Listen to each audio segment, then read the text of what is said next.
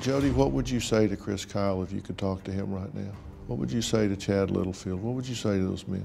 I would just tell them that I was so grateful that they were willing to give Eddie a hand to try to help Eddie. And how I wish they were here, that this had never ever happened. But I do believe in their hearts that they really wanted to help Eddie. And I, I've grieved for their moms. And I've prayed and prayed for them and their families, their children.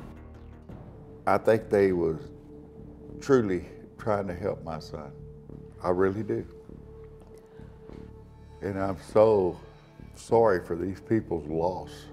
This ain't just two people. Dad is three, kind of. It should never happen, but it did. And you can't turn back time. You just can't.